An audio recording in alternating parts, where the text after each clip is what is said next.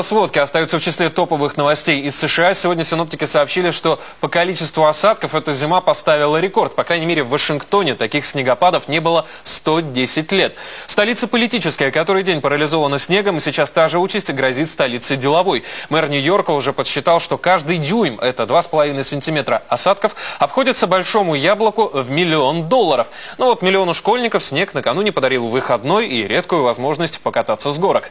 Передает наш собственный корреспондент президент США Алексей Веселовский. Эту бурю в Америке уже окрестили новой серией «Снегмагеддона». Второй большой снегопад за последние пять дней обрушился на восточное побережье США и практически везде изменил привычный уклад жизни. Закрыты многие госучреждения, школы, отменены авиарейсы, а в некоторых районах людям вообще предписано не выходить на улицу. В столице США еще не успели разгрести завалы после первой снежной бури, как город вновь оказался в плену у стихии. На расчистку улиц Вашингтона и пригородов брошены все силы коммунальщиков, но тех Техника ломается, не хватает реагентов, а снег все идет. Химикатов почти не осталось. Песок, соль, всего этого не хватает по всему штату. Армия госслужащих Вашингтона, около 230 тысяч человек, так и не вышла на работу. Многие учреждения, включая Палату представителей США, закрылись до конца недели. Даже Конгресс отменил ряд заседаний. В Нью-Йорке выходной объявила Организация Объединенных Наций. По всему восточному побережью фактически не работают аэропорты. Отменены тысячи рейсов. К югу от столицы США остановлено движение поездов. Дороги открыты, но проехать по ним крайне сложно. Видимость близка к нулевой.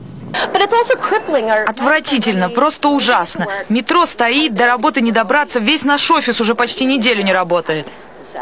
Вирджинии на трассе в аварию попало сразу 50 машин, а в соседней Пенсильвании губернатор просто закрыл некоторые шоссе для движения. Мэр города Балтимор вообще запретил выезжать на улицы всем машинам, кроме снегоуборочной техники, скорой помощи и полиции.